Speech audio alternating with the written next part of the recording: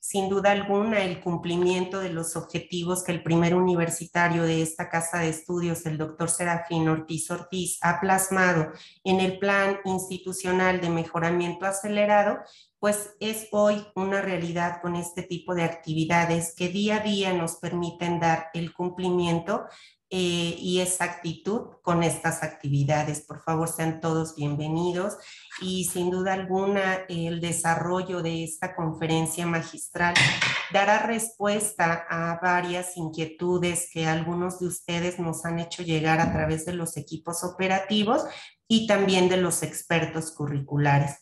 La revitalización del modelo humanista integrador ahora por capacidades está a nada de ya eh, ser una realidad. Si en un inicio de este año eh, nuestro primer universitario lo platicaba con nosotros, tanto los coordinadores de los programas educativos y los propios integrantes de los equipos operativos, tal vez lo veíamos como algo lejano, pero estamos a nada de que ya sea una realidad y agradecer la disposición de su tiempo y de su colaboración y trabajo para que esto sea posible. Eh, doctora, ¿puedo iniciar ya con la lectura del currículum Así es, adelante. No sé si el maestro Mario Franz quisiera compartir o dar algunas palabras.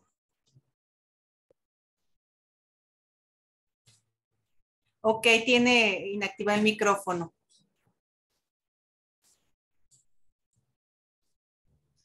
Ok, pues si me lo permiten, eh, daré... Ah, no, ya, ya, ya lo tiene abierto. No, Toñito, ¿le puedes abrir el micrófono al maestro Mario?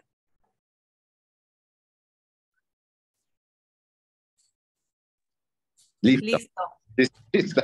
Muchas gracias. No, pues eh, primero que nada agradecer esta importante acción que está desarrollando a través de nuestra Secretaría Académica. Creo que nos va a fortalecer muchísimo el tema de las praxis y también eh, lo había mencionado con mis eh, docentes de, de, esta comunidad de ciencias económico-administrativas, la gestión que hizo nuestra coordinadora de la división, para que se aperture. No creo que es un ejercicio bastante interesante lo que vamos a, presenciar el día de hoy con el, experto, el doctor Novelo. Y bueno, estamos atentos, eh, los, obviamente los equipos operativos de los cinco programas eh, de, licenciatura eh, llevan un, trabajo bastante interesante, bastante avanzado, pero con este tipo de, pláticas, ¿no? Eh, de, principalmente que se viertan la experiencia, nos va a fortalecer a todos los académicos que hoy, e, e investigadores que hoy estamos conectados en esta sesión. Entonces, muchísimas gracias, doctora Edith Mendieta, y por supuesto también a la doctora Gloria, Gloria Ramírez Elías por, por la gestión de que todos podamos participar. Gracias. Gracias, maestro Mario. Pues adelante, maestra Gloria. Le damos el uso de la voz para presentar a nuestro ponente e iniciar con nuestra charla. Muchas gracias. La Universidad Autónoma de Tlaxcala, a través de la Secretaría Académica de la doctora Margarita Martínez Gómez, del Centro de Investigación Educativa del doctor Ángel Díaz Barriga y de la División de Ciencias Sociales y Administrativas, les dan la más cordial bienvenida a los docentes de la comunidad de la Facultad de Ciencias Económico-Administrativas, al maestro Mario Fran Subieta Secua, director de esta facultad, a esta jornada de actualización docente primavera 2023 con la conferencia Integración Curricular y Praxis Profesional. A partir de o a través del doctor Federico Jesús Novelo Urdanibia, profesor investigador de la Universidad Autónoma Metropolitana Xochimilco. Sean ustedes bienvenidos a esta conferencia virtual por Zoom. Me permito dar lectura al extracto del currículum del doctor Federico Jesús Novelo y Urdanibia. Profesor de la Universidad Autónoma Metropolitana, es economista y doctor en ciencias de política internacional es autor de 18 libros sobre la teoría económica keynesiana, el Tratado de Libre Comercio de América del Norte, la Universidad Pública Mexicana, el neoliberalismo, el desarrollo regional, la política exterior de México, la migración mexicana a Estados Unidos, la crisis global, historia y filosofía de la ciencia, obteniendo en tres ocasiones el premio al libro de texto en la Universidad Autónoma Metropolitana Xochimilco y una mención honorífica en la versión 2006 del premio la investigación económica Maestro Jesús Silva Herzog. Ha sido docente en las licenciaturas de Economía, Administración, Sociología, Política, Gestión Social y en los posgrados de Ciencias Económicas, Maestría en Política Pública y el doctorado de Ciencias Sociales de la propia Universidad Autónoma Metropolitana, obteniendo en dos ocasiones el premio a la docencia de entre los profesores de la División de Ciencias Sociales. Ha publicado numerosos artículos de investigación, capítulos de libros y reseñas bibliográficas en México, Argentina, Brasil, Canadá, Cuba, Ecuador, España, Estados Unidos y Japón. Fue director general fundador de la revista Planeación y Desarrollo Editorial ALEP y ha sido consultor de Nacional Financiera, de la Organización de Estados Americanos y de la Cancillería Mexicana para la Formación de Recursos Humanos en evaluación de proyectos de inversión en México, Guatemala, Nicaragua, El Salvador, Brasil, Chile y Argentina. Ha sido profesor y conferencista invitado en diversas instituciones de México, Argentina, Bolivia, Brasil, Cuba, Chile, Ecuador, El Salvador, España, Estados Unidos, Guatemala, Japón, Holanda, Nicaragua y Perú. Fue el primer coordinador de planeación y desarrollo académico de la UAM del Comité Editorial de las revistas Problemas del Desarrollo del Instituto de Investigaciones Económicas y Economía Informa e Investigación Económica de la FEUNAM y de Economía UNAM, del Consejo Editorial de la revista Equilibrio Económico, Universidad Autónoma de Coahuila, miembro de la eh, miembro de número de la Academia Mexicana de Economía Política y de la Comisión Dictaminadora de la FEUNAM dictaminador del Programa de Mejoramiento del Profesorado, PROMEP-CEP, del Consejo Nacional de Ciencia y Tecnología y de la Academia Mexicana de Ciencias. Es, desde 1999, miembro del Sistema Nacional de Investigadores nivel 3 desde 2018. Ha sido en tres ocasiones miembro del jurado del Premio de Investigación Maestro Jesús Silva Herzog es miembro del Comité Evaluador del Centro de Investigación y Docencia Económica CIDE y de la Comisión Dictaminadora del Sistema Nacional de Investigadores SNI y fue jefe del Departamento de Producción Económica de la UAM 2010-2014. Con este amplio eh, currículum que el doctor Federico Jesús Novelo Urdanibia nos presenta, sea usted bienvenido a esta conferencia virtual Integración Curricular y Praxis Profesional. Nuevamente, sean todos bienvenidos. Muchas gracias, muchas gracias, estimadas y estimados colegas. Eh, yo, yo comenzaría planteando la, la situación privilegiada en la que la Universidad Autónoma Metropolitana fue creada en 1974 porque le significó un estatus en términos de la planta docente que no se repite en las universidades públicas del país. Me refiero a que más del 60% del personal académico de toda la UAM Xochimilco es personal de tiempo completo. Esto facilita y eh, mejora mucho la comprensión de los problemas que queremos resaltar en el diseño curricular. Es decir, el, el, sistema modular es un sistema que nace en Quebec, en Canadá, que se replica en eh, Brasilia antes del golpe de Estado de 1964 y que básicamente, eh, para, eh, en, obvio de términos, consiste en una educación por medio de la comprensión y eventual puesta eh, en solución de problemas de relevancia social, de pertinencia histórica y un problema muy frecuente en las ciencias económico-administrativas, aprensible por la vía de cuerpos teóricos realistas. Me, me refiero al hecho de que el mainstream, la teoría dominante en la ciencia económica, pues parte de supuestos que no están disponibles en la realidad, construye modelos altamente sofisticados, les envía un material en donde aparece una autocrítica de Higgs a lo que por muchos años se entendió como la síntesis neoclásica keynesiana, el modelo ISLM, y eh, nos eh, ubica esta idea del sistema modular en una obligación de carácter académico para cualquier persona que se dedique a la docencia, es decir, asumir que los problemas que tenemos que resolver en la práctica profesional no son problemas disciplinarios, sino que la realidad misma nos eh, obliga a recurrir a más de una disciplina para la comprensión de aquello que queremos estudiar. Es este, realmente alucinante el grado de integración de disciplinas aparentemente muy distantes que nos han ayudado cada vez más a la selección de lo que aquí llamamos objetos de transformación. Estos problemas que provienen de la realidad y que nos plantean eh, eh, la necesidad de conocerlos y eventualmente proponer, eh, proponer soluciones.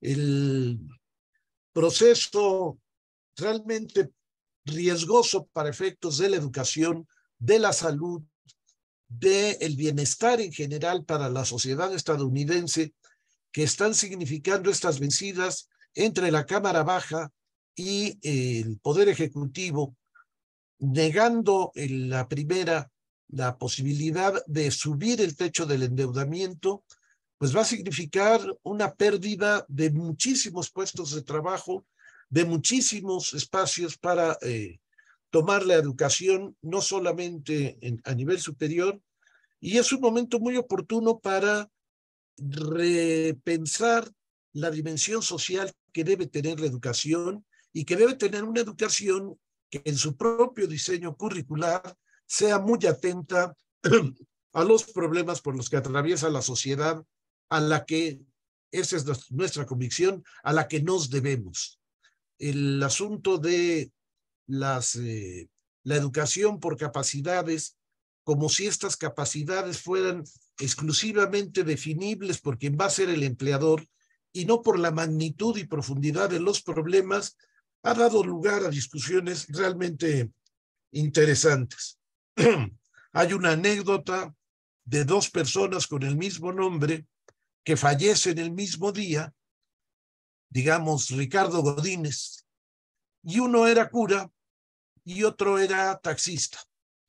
Cuando llegan con San Pedro, San Pedro dice, Ricardo Godínez, el taxista, puede escoger la nube que le parezca más acogedora y el instrumento musical de su preferencia y dedicarse a lo que quiera.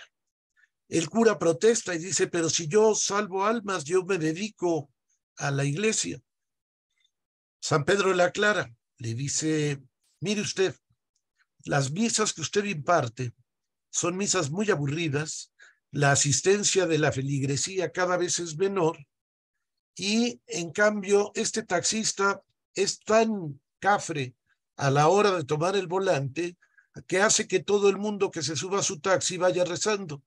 Esta es educación por capacidades.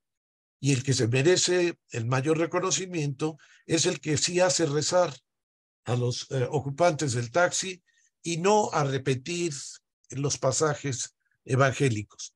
E, este es un asunto eh, importante en la discusión porque la pertinencia de lo que nosotros eh, tendríamos que plantear como capacidades, desconozco puntualmente los casos de administración y de eh, las disciplinas distintas a la economía, pero el comité que es el evaluador de los méritos curriculares que debe tener un egresado de economía, es como si fuera a trabajar en un banco o como si fuera a trabajar en una garita aduanal.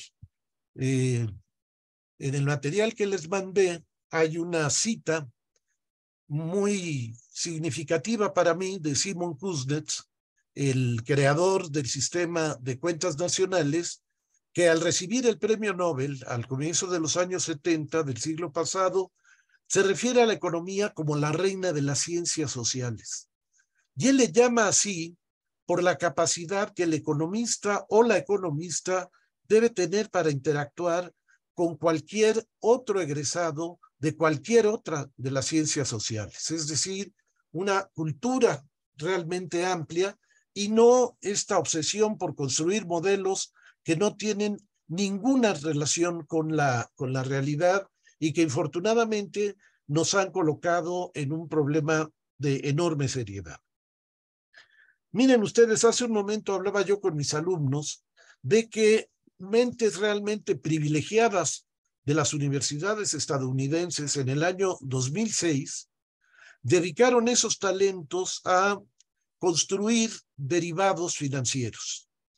Y estos derivados financieros, que eran altamente calificados por las eh, tres calificadoras que hay en el mundo, y las tres son estadounidenses, pues no hicieron más que empobrecer a los consumidores. ¿Qué, significó esta cuestión? Y, quiero ser muy enfático en, en, el asunto.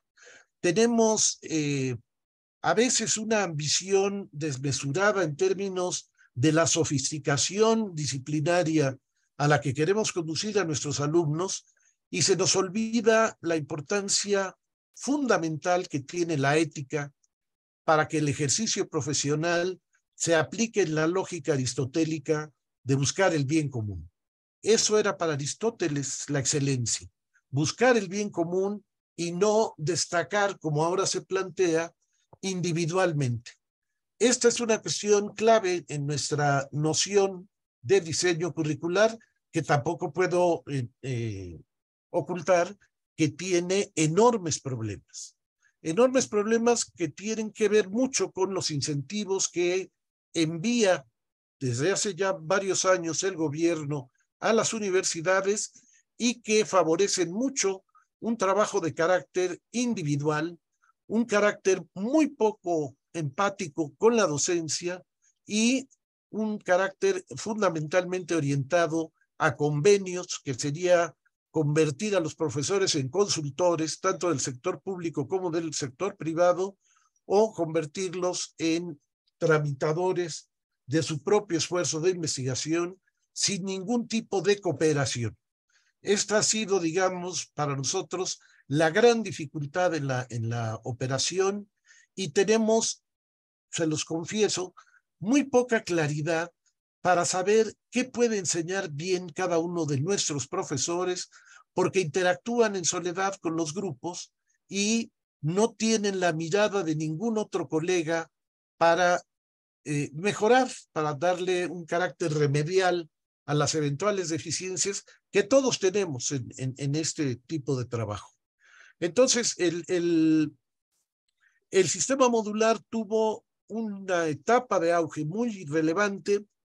Piensen ustedes en 1974 y piensen ustedes que los funcionarios públicos a nivel federal eran todos egresados de universidades públicas y ese panorama se nos ha modificado radicalmente aunado a todo este fenómeno que acaba de publicar un estudio extraordinario eh, eh, Raimundo Campos sobre las desigualdades en México, que infortunadísimamente nos recuerdan que no solamente somos un país clasista, sino que somos también un país racista. Les recomiendo ampliamente este libro de Raimundo Campos que se llama Desigualdades y que editó eh, recientemente Grano de Sal. Eh, ese es el tipo de realidad sobre la que para nosotros es importante trabajar. ¿Por qué razón? No, no, no menospreciamos eh, lo, lo, que son los requerimientos de las empresas, no, mucho menos de las micro y medianas empresas que son, digamos, eh, la demografía más relevante en nuestra planta productiva, pero sí asumimos que por tener una macroeconomía extraordinariamente extraviada, diario nacen y mueren decenas de pequeñas y microempresas en México, justamente por no tener ningún tipo de coordinación con una macroeconomía que debiera, en términos financieros, en términos de política monetaria, en términos de gasto público, en términos de promoción de la demanda efectiva, tener un carácter muchísimo más expansivo.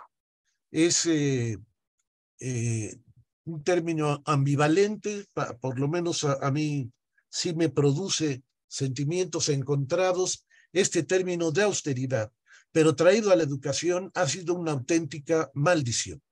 La austeridad es una cualidad como característica del comportamiento individual, pero no como guía para conducir a una nación y mucho menos para colocar en el papel enorme que debe colocarse a la educación. El saldo de nuestra, de nuestra gestión en estos casi 50 años de operación de la Universidad Autónoma Metropolitana es un saldo en donde nuestros egresados han iniciado su, su vida eh, profesional no solo como críticos, sino también como diseñadores de política económica. Y esta situación con razones que ustedes conocen tanto como yo, de las preferencias, incluso oficiales, sobre una parte de la educación privada y especialmente en el área económico-administrativa, bueno, hemos cada vez enfrentado el hecho de ir construyendo un extraño proletariado de oficina en donde las grandes decisiones las toman eh, egresados de universidades privadas que, como ustedes saben, desde que eh, se creó el ITAM, estuvieron pensadas para administrar empresas privadas y no para administrar al país.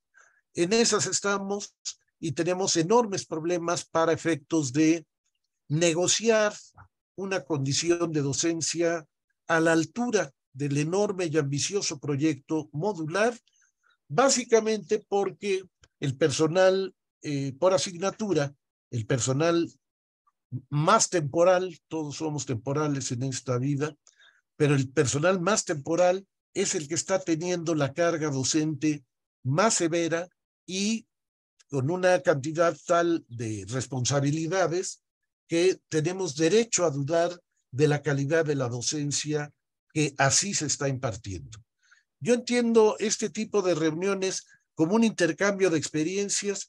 Este de la UAM tuvo una una eh, ambición muy grande en su surgimiento, tuvo un enorme apoyo oficial y la crisis que al, despuntar los años 80 se adueñó de la economía del país para no soltarla, pues nos ha ido creando una condición cada vez menos relevante al, efecto del mercado de trabajo y al efecto de la pertinencia de nuestros planteamientos en la definición de política económica y de política social. No sé si haya algún tipo de observación hasta aquí. Bueno. Doctor, estoy verificando en el chat y no, hasta este momento aún no hay cuestionamientos por parte de los eh, participantes. Estoy atenta al chat, doctora, eh, adelante. eso es muy amable, doctora. Bueno, aquí lo que, lo que hay que este, insistir es en el tipo de relación universidad-estado y el tipo de dimensión de las propuestas que desde las universidades se pueden proponer, se pueden construir para resolver los grandes problemas del país. Somos, piensen ustedes, no somos el continente más pobre del planeta, pero sí somos el más desigual y México es uno de los países más desiguales, no en un solo terreno socioeconómico, sino eh, una serie de desigualdades de género, de eh, eh, oportunidades, de apariencias, etcétera, que nos obliga a colocar en el centro de la preocupación cómo mejorar, cómo mejorar las condiciones de igualdad. Tenemos ustedes lo saben muy bien, tenemos una pobreza eh, que abarca a más de la, mitad de la población, tenemos a casi el 60% de la población económicamente activa trabajando en la informalidad con ingresos totalmente precarios que son los que se derivan fundamentalmente de la subcontratación. Y tenemos también conviviendo con una masa muy eh, eh, amorfa de muchos pobres, muy pobres, pues tenemos a varios de los hombres más ricos del planeta y no tenemos ninguna disposición para que el gobierno tome en cuenta propuestas de reforma fiscal que hicieran posible el que muchos de estos problemas que nos agobian, que colocan a una proporción muy pequeña de los jóvenes en edad de estudiar los estudios de educación superior, puedan tener acceso a esa educación y tenemos un eh, descuido, por hablarlo con indulgencia, gubernamental respecto al verdadero funcionamiento central de la universidad.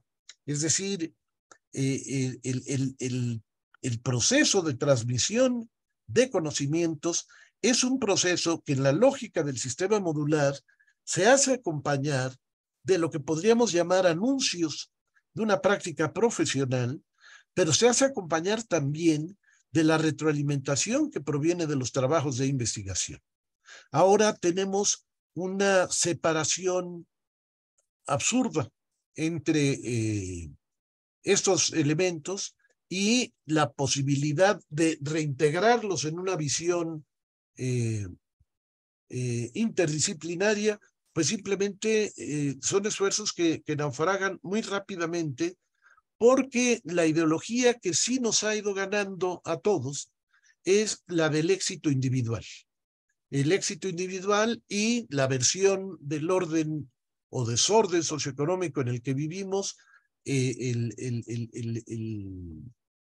el, dinero como la medida del éxito sin ningún tipo de eh, relevancia o de apoyo importante a los grandes problemas de nuestras comunidades. Somos un país muy diferenciado por regiones, por centros de población, por necesidades, y es muy poca la curiosidad con la que nos acercamos a ese tipo, a ese tipo de problemas. Entonces, la, universidad tiene, en mi opinión, que pensar en su propia reforma para reformar a lo que es el, eh, el país o el, ámbito social en el que nos movemos.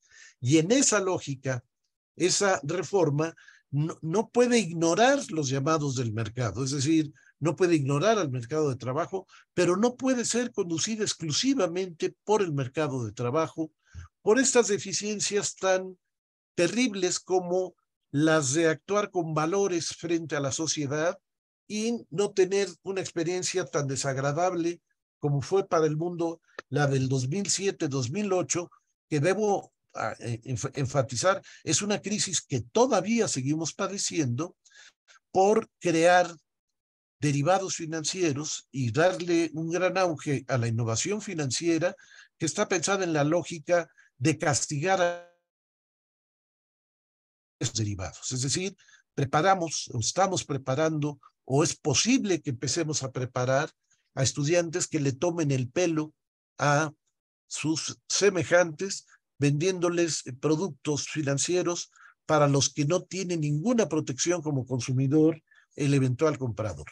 Pasó en el 2007 y si ustedes lo revisan en textos muy recientes sobre el análisis de la financiarización, tenemos una recurrente aparición de crisis financieras que siempre, invariablemente, tienen como preludio a una suerte de innovación financiera que acaba siendo una tomadura de pelo para quienes incurren en ella. Entonces, eh, tenemos eh, en, la obligación de actuar y de hablar con la mayor objetividad, mucho más entre colegas, eh, sobre la necesidad de imaginar los cambios que tenemos que hacer. Han aparecido algunas preguntas y hay una que me llama poderosísimamente la atención que es este, el papel de los sindicatos.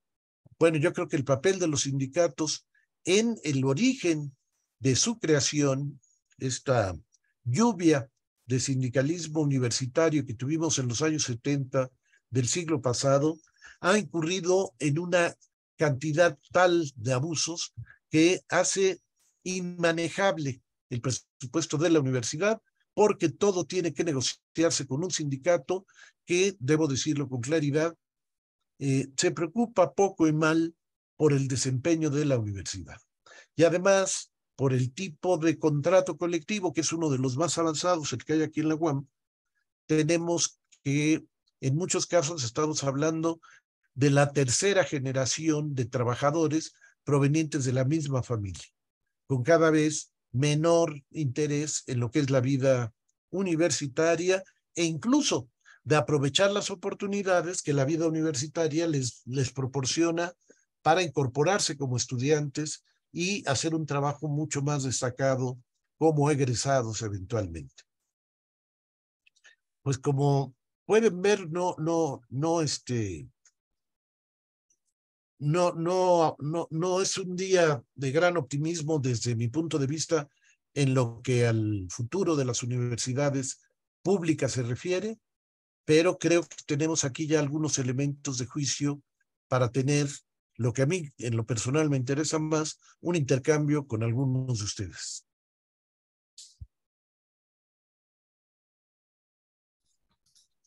Sí, doctor, muchísimas gracias. Ya usted le dio respuesta a uno de los cuestionamientos que ha realizado el maestro Víctor Manuel Piedra Mayorga de la Unidad Académica Multidisciplinaria Campus Calpulalpan. En su segundo cuestionamiento, él realiza un primer cuestionamiento, doctor. Pregunta, ¿qué se necesita por parte de las escuelas públicas para que de manera paralela a las privadas se aplique el conocimiento? Bueno, se requiere principalmente eh, el, el, conocimiento previo de las condiciones en las que vamos a actuar, es decir, de la eh, sociedad que queremos transformar o cuyas condiciones queremos mejorar.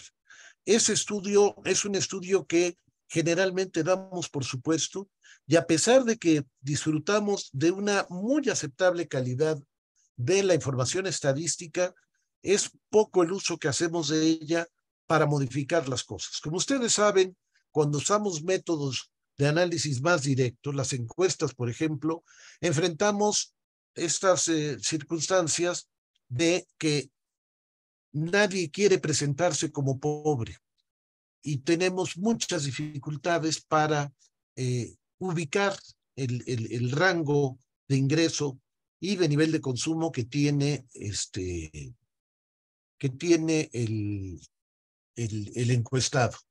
Y tenemos una idea de pobreza relativa, es decir, si en mi colonia o en el cerro donde vivo hay alguien con menor ingreso que yo, ese es el pobre, no yo. Y así sucesivamente. Tenemos muchos riesgos respecto a la veracidad de la información que pretendemos obtener directamente.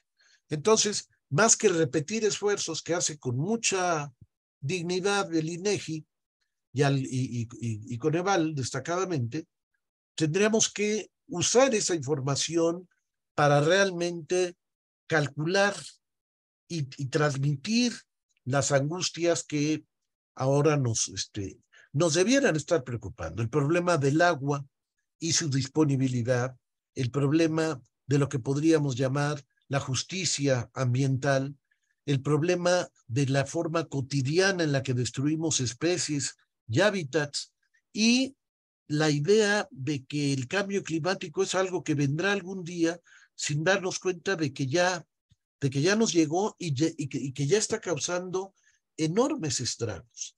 La, inundación de Pakistán el año pasado, de una parte muy importante de Inglaterra también el año pasado, las sequías, la carencia de agua, lo que va a significar para la vida insular, es decir, para las islas que hay en nuestro planeta, la elevación de las mareas, la migración que tiene tan mal cartel, tanto en México, aunque este gobierno prometió que iba a ser una cosa distinta cuando comenzó su gestión, como en los países desarrollados, empiezan a generarnos un panorama que Noel Rubini ha, digamos, condensado en un libro al que llama Las grandes mega amenazas.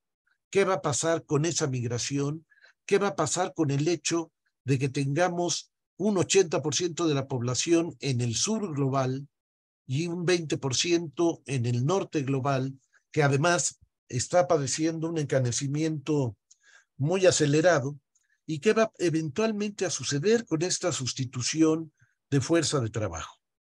Algo que me preocupa particularmente es lo que llama Harari la disrupción tecnológica. Me trato de explicar. Cuando la tecnología nos sirvió para sustituir habilidades físicas, fue de una enorme utilidad para incrementar la productividad. La tecnología en curso y particularmente la inteligencia artificial, que empieza a sustituir capacidades humanas cognitivas, puede colocar a una parte muy significativa de la población sin ninguna perspectiva de relevancia. El, empleo, como todos lo sabemos, es un elemento clave en la autoestima y la autoestima, cuando se es prescindible, es absolutamente eh, eh, derrumbada por esa circunstancia. Es muy, muy eh, grave la situación que tenemos enfrente y las universidades se han vuelto notablemente lentas para, para captar la gravedad de ese, de ese problema. Gracias, doctor. Hay otro cuestionamiento más y es de Rocío y ella especifica, dice, considera formular un perfil de egreso. ¿Cuál sería el porcentaje que se debiera incluir de las necesidades sociales y del mercado del trabajo? Yo, yo creo que estaríamos hablando de proporciones muy similares. El asunto es el siguiente, doctora, y, y, y para la doctora Rocío. El asunto es el siguiente. Necesitamos construir mercados de trabajo que realmente estén pensados para resolver nuestros grandes problemas. Eh, recientemente una, una anécdota en la Secretaría de Hacienda y Crédito Público, donde una joven trabajadora muy eficiente eh, intentó una promoción y la respuesta de su jefa, porque también la misoginia a veces es femenina, la respuesta de su jefa es, eh, solamente tienes documentos de la UNAM. Y sabes qué, hija, eres muy morenita. En, en un país así estamos. Y, y, y habría que tomar digamos, como alguna vez Aristóteles les aclaró a los, a los eh, parlamentarios griegos, hay que recordar que lo, los morenitos somos mayoría. Aristóteles se opuso a una sugerencia de aplicar a los esclavos el uso obligatorio de uniformes. Y Aristóteles le preguntó a quien estaba sugiriendo tal cosa, y usted ya se dio cuenta que si los uniformamos van a saber que son más que nosotros. Este tipo de circunstancia que en las que en las que hay que pensar. La universidad tiene un valor en sí misma, la difusión de la cultura tiende a ser un, un agregado cada vez de peor calidad y no se centra ni siquiera en lo que sería la clave, difundir la cultura universitaria y hacer de la cultura universitaria un bien de consumo para la sociedad. Esta, si todos echamos este, a, a volar nuestros recuerdos, recordaríamos que el primer entusiasmo por la lectura provino de una influencia cercana. El papel de la tutoría, por ejemplo, es central en la promoción y la identificación de las cualidades de los propios estudiantes. Muchas gracias, doctor. También hay otro cuestionamiento y especifica lo siguiente. Dice, doctor, escuchando sus aportaciones, me parece estar en un círculo vicioso referente a la planta docente de hora clase. ¿Cómo lograr involucrar a estos docentes en la integración curricular y praxis profesional? si eh, de manera urgente ellos están, como lo especifica, por hora clase. Bueno, hay que darles una contratación mucho más digna del nombre. Hay que ampliar el tiempo de trabajo que pueden dedicar a la universidad y hay que dedicarlos a una docencia que no sea abrumadora. Es este e, e, es, es un derecho humano y es una obligación de la propia universidad ir creando sus propios cuadros y seguramente de, entre ese personal, que aquí es el más joven, hay talentos ahí por desarrollar a los que no les damos tiempo ni siquiera de reflexionar. Decía Samuel Ramos, un gran antropólogo que estudió al hombre y la cultura en México, que México no pudo saber qué hacer con su vida independiente porque el siglo XIX fue un siglo en el que no tuvo ningún tipo de sosiego. Cuando no iba, como decía de Toqueville, a la dictadura, iba al golpe militar. Y, es, y, una, y una sociedad así, o una sociedad de estos jóvenes profesores, tan cargados de una docencia que acaba siendo memorística, que acaba siendo repetitiva, que no tiene mucho ámbito de, eh, de creación, de imaginación, es una perversión. Es una perversión en contra del profesor y es una perversión en contra de los estudiantes.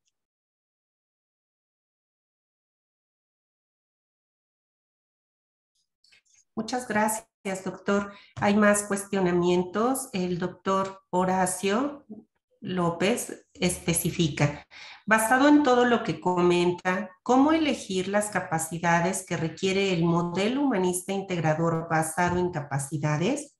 La UAT tiene como fin la cultura y la justicia social, por lo tanto se enfoca en todos, no solo en hijos de empresarios.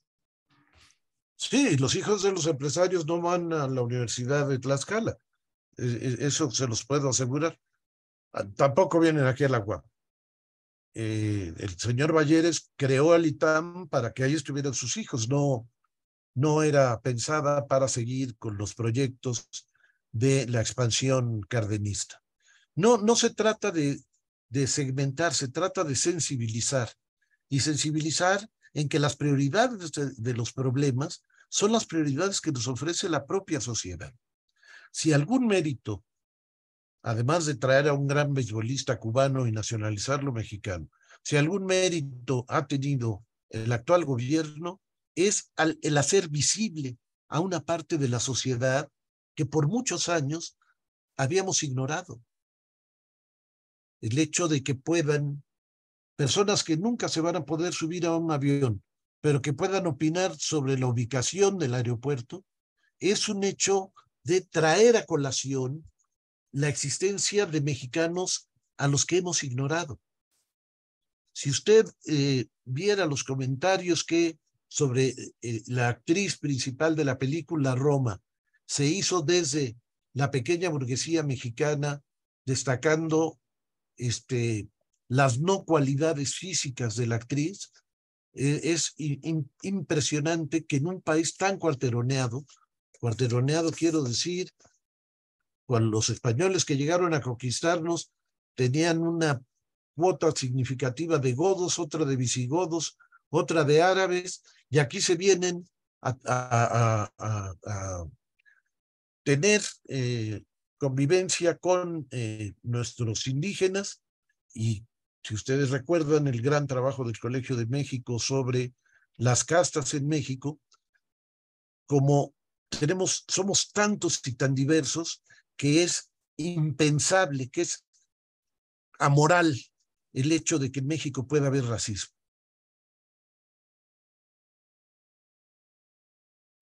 Gracias, doctor.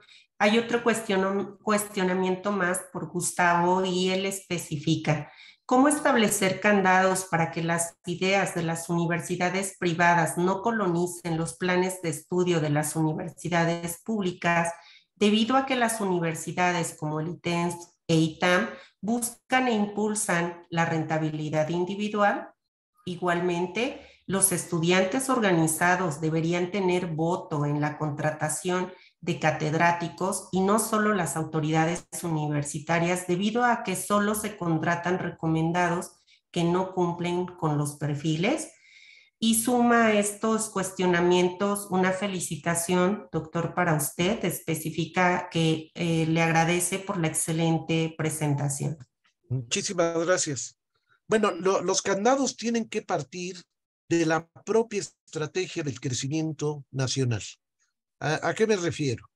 En este gobierno de la cuatro transformación, tenemos al Banco de México, a la Secretaría de Hacienda, a la Secretaría de Economía, llena de egresados del ITAM. Es, el Estado tiene que imaginar el tipo de empleo que sea realmente relevante para los egresados de las universidades que no dejan de ser del Estado. Nosotros somos autónomos, pero somos organismos descentralizados. El, gobierno simplemente no ha entendido esto y mucho menos atendido. Este es el, asunto.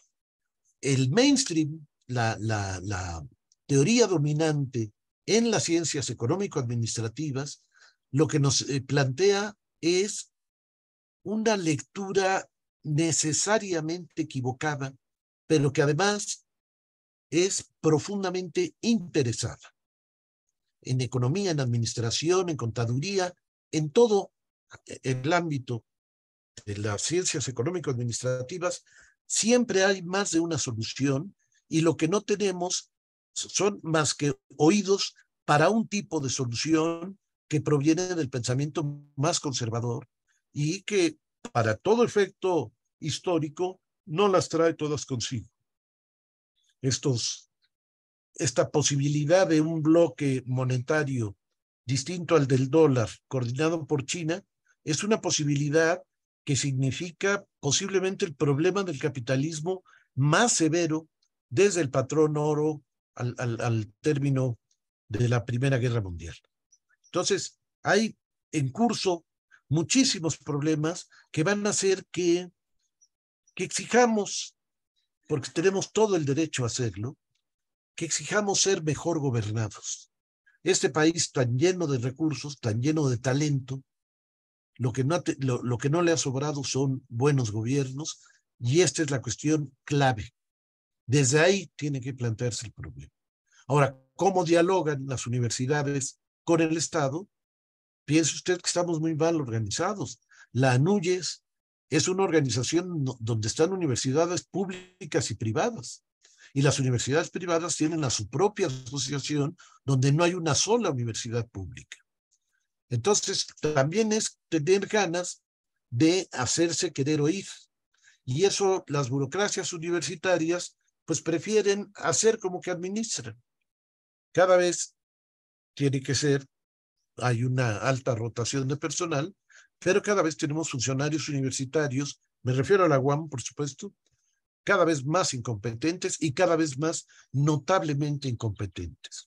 Hoy regresamos de un paro de más de dos meses por no manejar con el menor talento la violación de una joven y que paralizó a las cinco unidades de la universidad por esta mezcla de la torpeza, ignorancia y soberbia con la que suelen actuar autoridades. Yo le diría que las autoridades que tenemos aquí, en los ámbitos disciplinarios de los que dicen provenir, no los conoce nadie.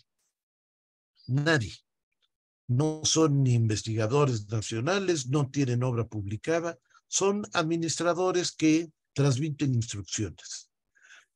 En, el, en la segunda cuestión de los estudiantes, yo creo que hay que experimentar la ciudadanía universitaria.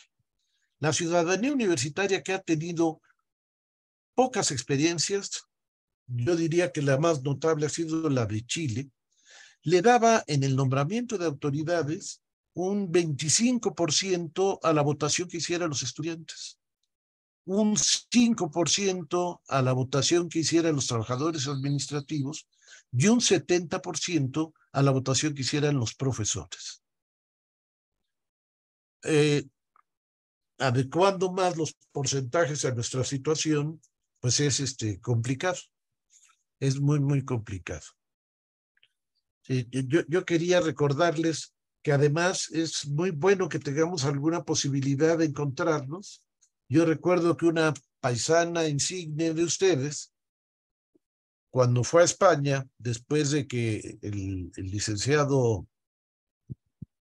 este, Andrés Manuel López Obrador le exigía al Vaticano y a la corona española ofrecerle disculpas a los pueblos indígenas, esta persona era la licenciada Beatriz Paredes, dio una respuesta que es una respuesta totalmente válida.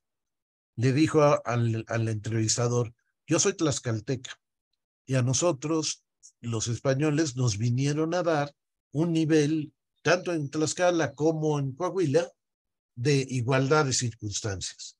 Entonces, cada quien trata los problemas casi, casi como nos está yendo en ellos. Y bueno, además de este asunto clave de la ética como transmisión de valores para los estudiantes, yo creo que despertar en ellos el interés por la cultura, por saber, yo, estoy muy de acuerdo con, con Ángel Díaz Barriga en que hay que quitar los cursos de redacción, pero sí hay que incitar la lectura de los alumnos, que es como se aprende a redactar realmente. Y, y, y, leer lo que hay que leer, leer a los clásicos y tener una profunda cultura que nos permita dialogar con cualquier otro tipo de profesionista.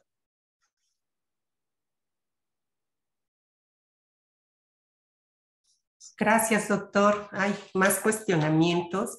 Ernesto Ramírez especifica, las universidades deben formar empleados o ciudadanos. ¿A quién corresponde la gestión y creación del mercado laboral? ¿A la universidad o al Estado?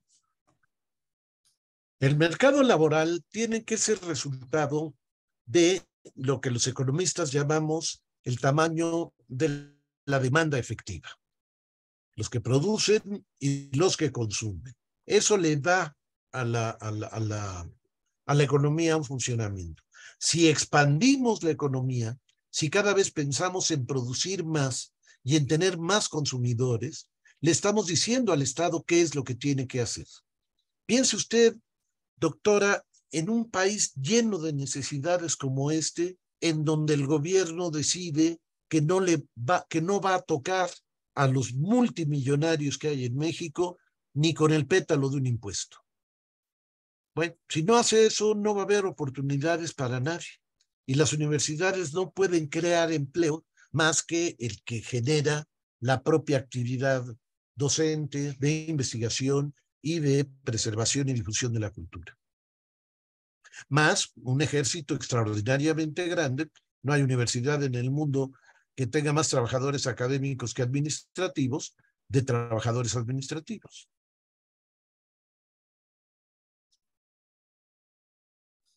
Muchas gracias, doctor, por sus eh, notables e importantes respuestas a estos cuestionamientos. Doctora Edith, yo me reitero a tus órdenes. Aún tenemos cuestionamientos. No sé si por el tiempo aún sea posible darle lectura, al menos en el chat.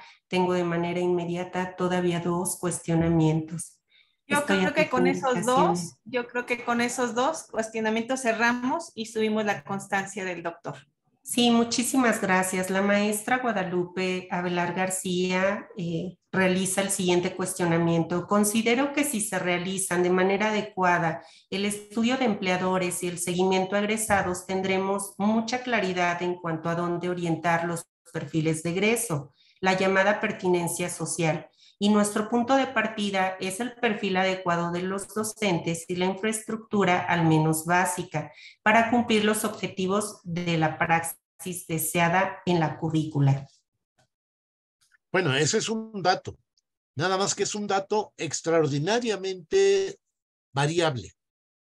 Si usted eh, recuerda el eh, tratamiento que se le dio al anuncio del establecimiento de Tesla en el estado de Nuevo León y su carácter de, eh, de locomotora para nuevas cuestiones en el propio estado de Nuevo León, Tesla ya tiene el paquete hasta de sus universidades y no está pensando en las públicas. Es decir, depender del empleador es como depender de la inversión extranjera que en cualquier momento puede decir, el trabajador mexicano no tiene movilidad, pero mi capital sí la tiene por el mundo y me puedo ir a donde sea más barato que tenerlos acá, que tener a los trabajadores de acá. Así empezó China, ahora es una potencia, pero el hecho concreto es que es un elemento de juicio y solamente un elemento de juicio la posición de los empleadores y no es el más importante. Muchas gracias, doctor. El último cuestionamiento, eh, yo les ofrezco disculpas a la comunidad docente de esta Facultad de Ciencias Económico-Administrativas. Tomaré nota de los cuestionamientos que aún restan, los haremos llegar con el doctor Federico y agradeciendo eh, pues dar respuesta aún a los restantes. El último cuestionamiento, doctor Federico, dice así por, de parte del maestro José Antonio Rosas Lezama, dice, doctor Federico Jesús, ¿usted considera que para llegar a una integración curricular de excelencia, los catedráticos tenemos que trabajar para estar actualizados y mantener comunicación constante y en algunos casos permanentes con las empresas privadas, con algunas instituciones gubernamentales? Y sobre todo con los colegios profesionales? Bueno, el, asunto es otra vez que entendemos por excelencia. Y si por excelencia es, que, que ese es el problema. Si por excelencia se entiende llegar tarde y mal a competir con las universidades privadas, pues es una excelencia inalcanzable. La excelencia que yo citaba al comienzo, la aristotélica, es cómo le sirvo a mi población, no cómo me sirvo de mi población. Por supuesto, el profesor tiene que estar altamente calificado. Y las relaciones, también habría que decir, con la sociedad y no solo con las sociedades anónimas.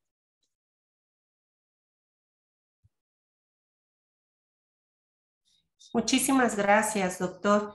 Eh, los cuestionamientos que aún quedaron pendientes eh, se los haremos a usted llegar y entregar a quien corresponde esta retroalimentación.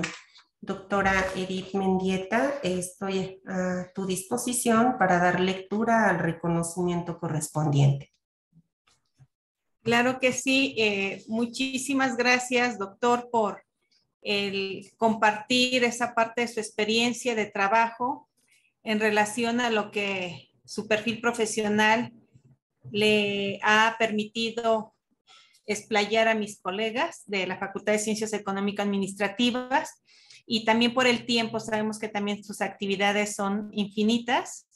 Y agradecerle, eh, digo, no podemos subir aquí la constancia, pero en nombre de la doctora Margarita Martínez Gómez, le hacemos llegar su constancia por haber impartido la conferencia Integración Curricular y Praxis Profesional dentro del programa de formación y actualización docente Primavera 2023, realizado de manera virtual el día 16 de mayo del presente año. Y firma el calce la doctora Margarita Martínez Gómez. Eh, eh, en unos minutos, a través de su correo, le haré llegar la constancia y pues esperando que posteriormente, si hubiera la necesidad de poder contar con su, presencia nuevamente, pues le estaremos haciendo una cordial invitación para que nos acompañe. Con mucho gusto, con mucho gusto y les agradezco mucho la oportunidad. Fue un placer. Gracias, gracias, doctor. Y bueno, doctora Gloria, pues también agradecer esta disposición para poder trabajar con la, la, división que en este caso iniciamos con la Facultad de Ciencias Económico-Administrativas, también por esta, por esta moderación. Muy bien, muchísimas gracias. Muchísimas gracias a todos, excelente tarde. Igualmente, que estén gracias, muy bien. gracias. Y para el resto, de mañana tenemos eh, la, nuestra segunda sesión. Con, veo gente de la Facultad de Biología y de Ciencias de la Salud. Mañana nos toca con ustedes trabajar. Específicamente a las 16 horas nos toca trabajar con la División de Ciencias Biológicas, específicamente la Facultad de Agrobiología y la licenciatura de Química Clínica de Ciencias de la Salud. Y el día jueves a las 18 a las 9 de la mañana estaremos también con el doctor Edgar Carlos Jarillo, específicamente con odontología y la Facultad Completa de Ciencias de la Salud, y ahí se integra naturopatía de la Facultad de Agrobiología.